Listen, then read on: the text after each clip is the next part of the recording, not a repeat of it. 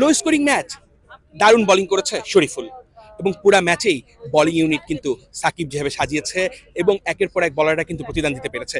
শরীফুল, কি ছিল আজকের ম্যাচের মেন পয়েন্টগুলো মেন পয়েন্টগুলো ছিল সাকিব ভাই যখনই আমাদেরকে সবাইকে বলাকে বল দিচ্ছে সো আমাদেরকে একটা কথাই বলছে যে লাইন লাইন মেনটেন করে বল করো উইকেট অবশ্যই আসবে, কারণ উইকেট একটু বোলিং ফ্রেন্ডলি ছিল সো এটা আমাদের মেন চ্যালেঞ্জ ছিল। আর যাকে যে সময় আনছে, সেই কাজটা তখন বলাররা করছে সো এই আর কি ভালো লাগছে। এরকম ক্রিকেটার যারা নিয়মিত আইপিএলে খেলে তাদের বিপক্ষে খেলাটা নিজের দিক থেকে কতটুকু আত্মবিশ্বাস ছিল? দেখেন ক্রিকেট খেলাটা হলো নামে হয় না আসলে মেনলি বল দিয়ে খেলতে হয় সো হয়তো ওনারা ভালো ক্রিকেটার ভালো ভালো জায়গায় খেলে সো আমাদের টিমও খারাপ না।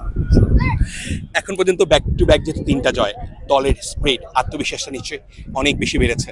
আগামীর কি মনে হচ্ছে? হ্যাঁ অবশ্যই আমরা চেষ্টা করব এই জয়টা ধরে রাখার জন্য বা আমাদের টিম স্পিড খুব ভালো সো ইনশাল্লাহ ভালো কিছু হবে। কাল মারাজ সুনীল নাইডিন নবী সেই সঙ্গে স্টনিস নামি দামি ক্রিকেটার ছিল কিন্তু প্রতিপক্ষের। তবুও বাংলা টাইগার্সের ক্রিকেটাররা খেলেছে ফেয়ারলেস ক্রিকেট টিম ওনার্সের পক্ষ থেকে কি বার্তা ছিল সেটা শুনব। আচ্ছা বাংলা টাইগার্সে আমরা অত দামি প্লেয়ার নিইনি। হ্যাঁ কিন্তু আমাদের দেশে সাকিব আল হাসান, শরীফুল, ওরা খুব ভালো খেলেছে।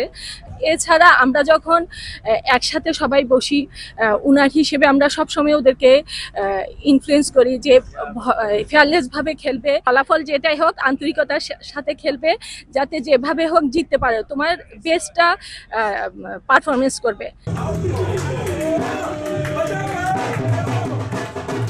গ্লোবাল টি টোয়েন্টি লিগে নিজেদের চতুর্থ ম্যাচে টানা তৃতীয় জয় তুলে নিয়েছে বাংলা টাইগার্স। এবং এই জয়ে টেবিলে তাদের অবস্থানটা কিন্তু আরও শক্ত হলো।